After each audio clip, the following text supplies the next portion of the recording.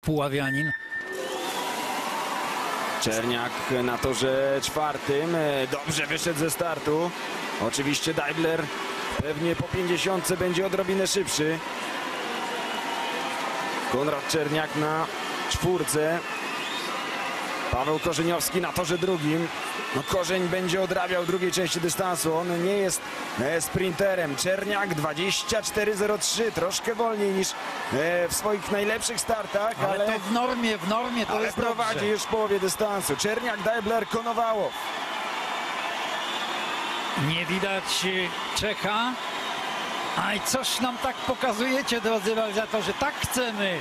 Czerniak jest pierwszy, Korzeniowski odrabia straty. Konrad Czerniak płynie po złoto Mistrzostw Europy.